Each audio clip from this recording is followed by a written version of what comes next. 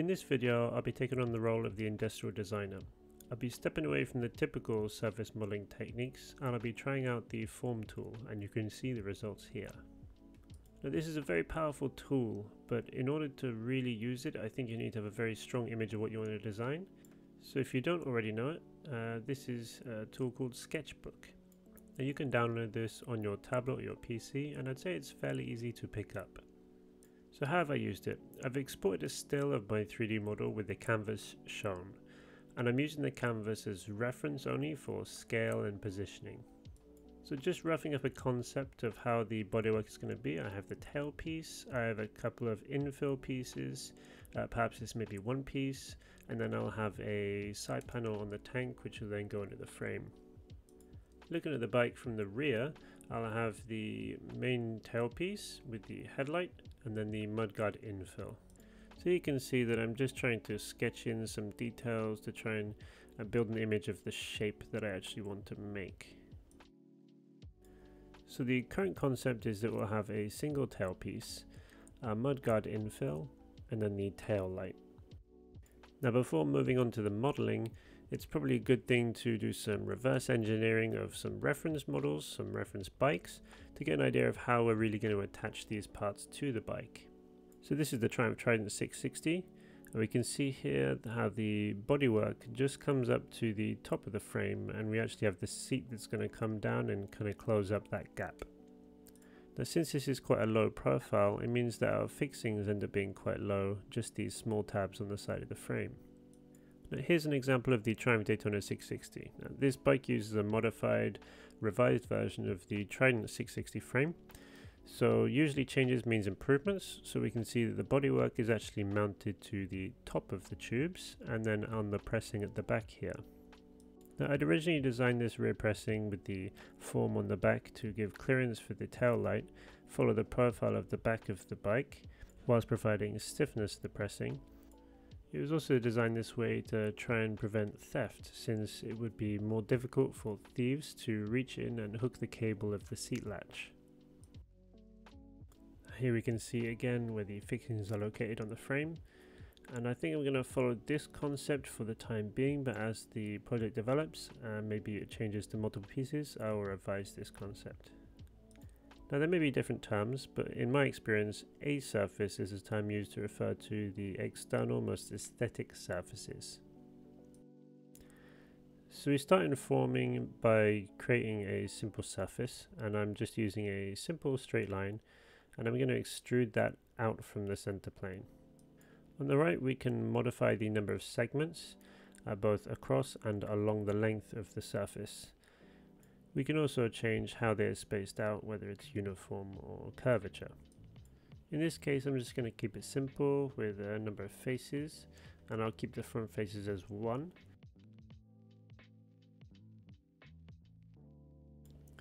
So now we have this simple surface. I can actually add a curve to this surface to create uh, additional segments. We do this by using the insert point tool, which actually inserts uh, a curve through the points that you create.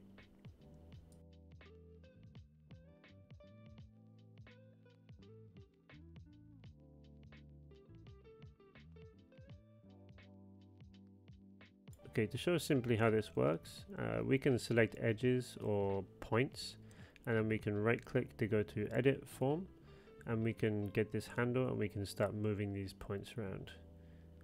We can also select uh, groups, multiple points or curves and we can drag them all together. I think it's important to get used to the freedom that we have in freeforming as well as getting used to how to move the points and edges in the way that we want to to generate our geometry. So if you come from a background in parametric modeling, it might feel a bit strange coming into a free-forming tool like this. It feels like it's so easy to make mistakes, but what we should remember is that whilst it's easier to make mistakes or ruin a model, it's also very easy to fix a model. So here we can see that uh, if we don't need these segments, we can select these faces and then we can just uh, right click and use the delete and we can easily undo that. We can also delete these surfaces by deleting the enclosing edge. And we can quickly highlight that whole edge by double clicking. So you can see here that this edge is actually not the smoothest of lines. So if you come into modify, you can use the smooth feature, but this works on the surface. So we need to highlight all the surfaces and we can select them more quickly by selecting from the start point to the end with a double click. And then increase the smoothness here and click OK and we'll see how the edge uh, smoothed out. So this is where the forming really starts to begin. Now a common technique is to uh, select a whole edge, edit form, and then hold Alt as you drag one of the handles. Uh, each handle will generate the surface in a different way. You'll also notice here that uh, it's a rounded surface and now you can see a kind of mesh-like profile overlaid.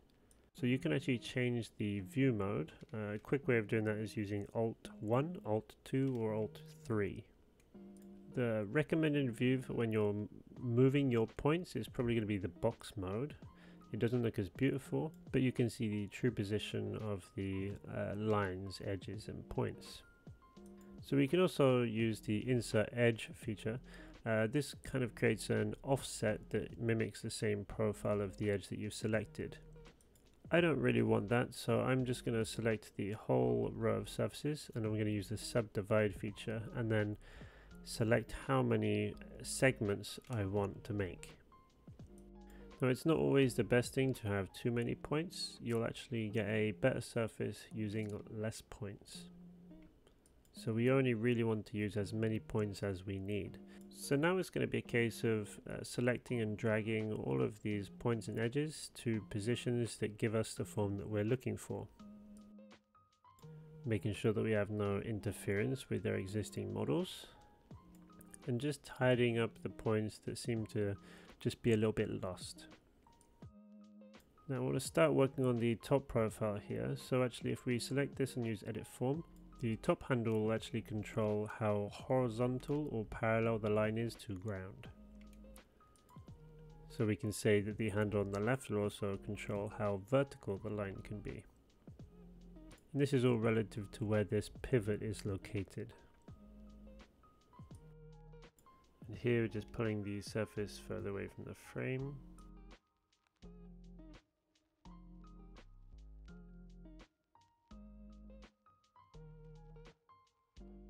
Now you could drag a select number of these points down all in one, but you could also draw a line between uh, this point and this edge, and then trim away those top segments.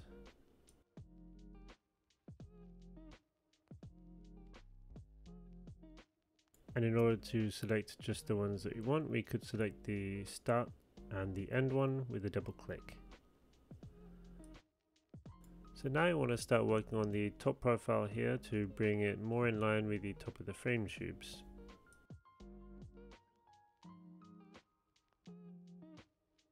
And in some cases it's probably easier to do so when you look at it from the other side.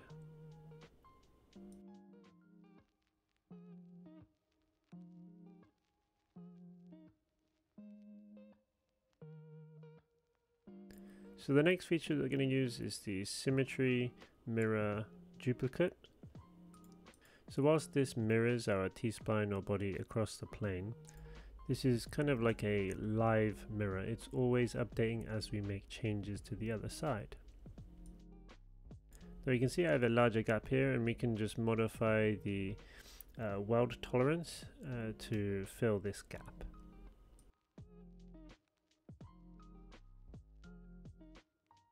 And then we have our complete uh, rear tail piece. So this is what it looks like now in box view mode. But if we change this to the smooth setting, it looks uh, a bit better. But we do have this strange double line here, which is not going to be ideal. And we can fix this by using the utility to make it uniform whilst it doesn't look like much has happened in box mode, when you change to surface mode, we'll see that line is gone.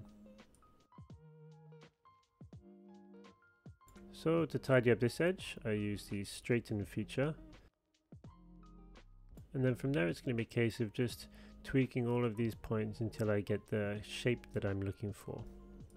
If you want to have a more defined edge, you can use the crease feature and we'll see more of that in just a moment. Okay, so I'm going to use all the techniques that I've showed up until this point to uh, tidy up this model and get the image that I'm looking for. I'm going to speed up this part, but I will pause uh, and slow down when I get to another feature that may be useful.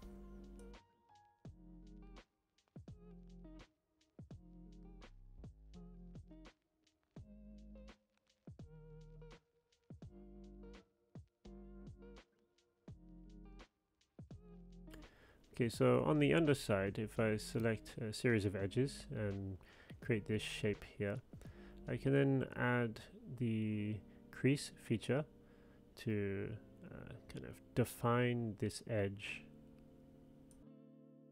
And this allows you to create more emphasized geometry because you have those more defined edges. So the crease is going to be useful for me here because I'm going to create a flat section of geometry in this bodywork and I can modify the bodywork around it without affecting the internal surfaces. And in order to do that I'll need to add an additional crease. Here I'm just correcting the placement of the crease as the bracket actually extends further up the frame. But this allows me to show how when we create this crease uh, we still have the previous creases including this one across the middle and we can get rid of that by selecting those edges, modifying and using the uncrease feature.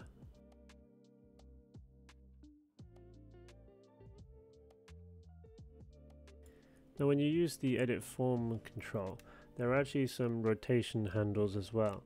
So if you use that on edges like this, we can actually create something a bit more interesting.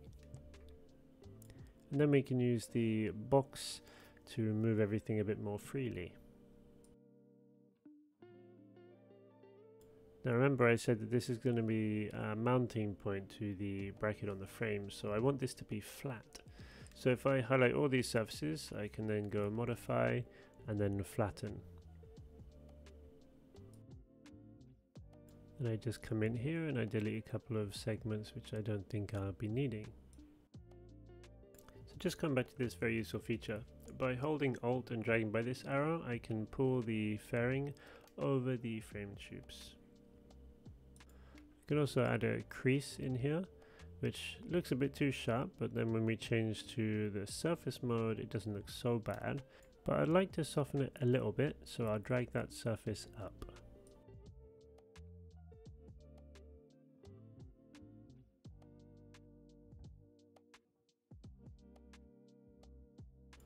Just around there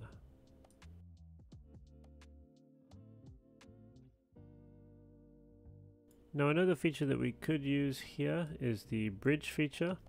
So by selecting a couple of edges either side, we select the side 1 and side 2 edges and then make sure the arrow is not going to twist our surface. And these arrows are okay.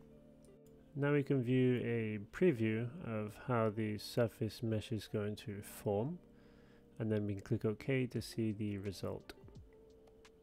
In this case, however, I don't plan to have the surface covering the top here, so I'll delete that. So in the end, I did have another subdivision on this top surface, so I just add a new crease in here.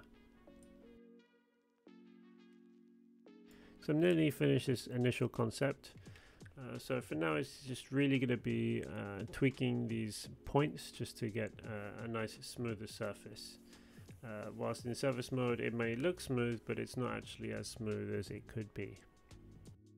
So coming back to the underside of the tailpiece, I want to take all these surfaces and I want to create some more interesting geometry. So I'm going to create a new crease around them. Now I want to start dragging and pulling these surfaces around to create some more interesting uh, curvature here. But since it's directly connected to the flattened surface, I need to create some separation. So I do that by using the subdivide feature.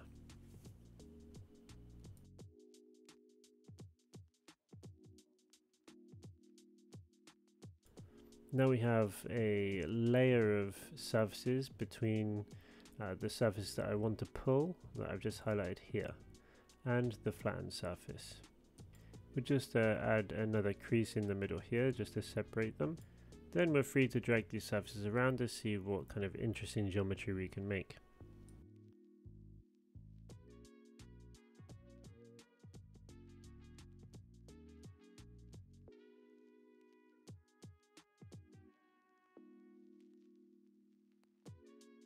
So almost at the finished result of this uh, initial concept. So now it's just going to be a case of tweaking any outstanding points just to try and tidy it up that little extra more.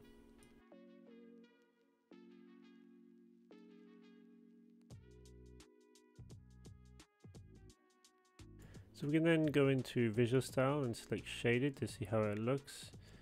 And we can even go into render mode and apply some appearances. I also mocked up a seat and I really think it helps to bring it all together. So this has actually been a very fun learning experience because I've not used freeforming before and modeled fairings like this. So these have been very simple but I can make something more complicated going forward and I'll probably also work on the front fairings as well. I'd just like to say thank you very much to everyone that's watching, subscribing and commenting. I really appreciate it.